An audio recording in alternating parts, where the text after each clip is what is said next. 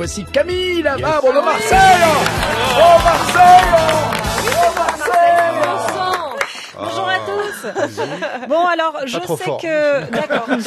Bon alors je sais que je sais que l'heure est à la frilosité, pire à la censure, mais allez, faut bien que quelqu'un se lance. Les enfants et les trains, ça va pas ensemble, non? Non, je veux dire rapport à la bonne ambiance générale du wagon, la cohésion de groupe, tout ça. La semaine dernière, j'ai dû prendre un train pour quitter Paris parce que voilà, j'ai des obligations de type euh, préserver une santé mentale. Donc, je prends mon billet sur le site de la SNCF. Et juste avant de passer au paiement de mes 627 euros en indiquant que mon père se portait garant, je choisis l'espace zen afin d'assurer la tranquillité de mon voyage. Alors oui, 627 euros, oui. J'ai regardé, j'en avais pour 50 euros de plus qu'en avion. Alors qu'en avion, j'avais quand même une escale d'une semaine à Punta Cana. hein. Mais j'étais tellement contente de pouvoir profiter une dernière fois de ma carte 1225. Euh, Oui, oui, oui, 12-25, oui. Bah quoi, Daniel, t'as la même? C'est juste que toi, euh, bah, c'est rapport à l'année de naissance. Hein Et oui. Et je sais, Daniel, moi aussi, je préférais quand nul. ça faisait tchou-tchou. Et alors, quelle ne fut pas ma surprise de découvrir à l'arrivée que mon wagon s'était tout bonnement transformé en bus scolaire. Voilà, j'arrive, je vois deux couples, quatre enfants chacun. Si vous comptez bien, ça fait quand même 12 raisons d'inscrire le droit à l'avortement dans la Constitution. Moi, je vous le dis, Simone Veil, elle n'était pas féministe. Non, non, elle avait juste sa carte grand voyageur, en fait. Donc, huit enfants, euh, je dirais entre 3 et 10 ans en moyenne. Hein, donc, euh, clairement, ce qu'il y a de pire sur le marché. À 3 ans, ça chiale. À 10 ans, ça, ça joue à des jeux sur une tablette sans écouteurs. Et entre les deux, ça chiale parce que ça n'a pas le droit de jouer à des jeux sur une tablette sans écouteurs. Nickel.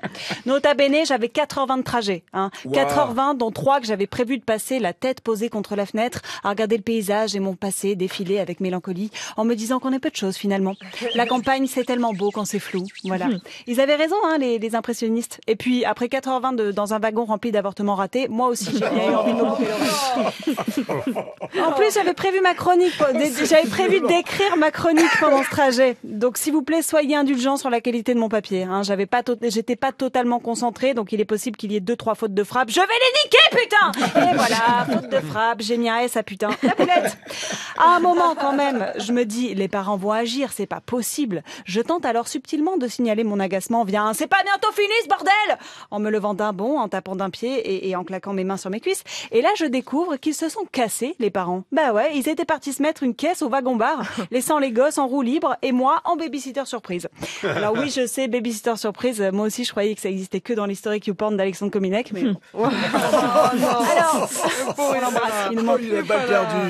Alors, en bonne jeune femme, bobo, anxieuse, gaucho-moderne de mon époque, qui a besoin de retrouver une santé mentale en se barrant de Paris deux fois par mois et qui sait toujours pas si elle veut des gosses parce que le monde, la guerre, le climat, la charge mentale. Je dis pas que dans la, même si- dans la même situation, j'aurais fait mieux que les parents, mais un peu de décence, j'aurais au moins payé ma tournée.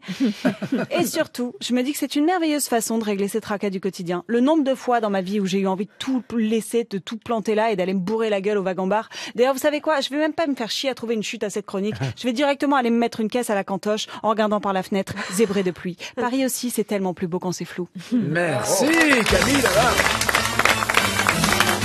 Camille Aix-en-Provence les 1er et 2 décembre et le 5 à Caen.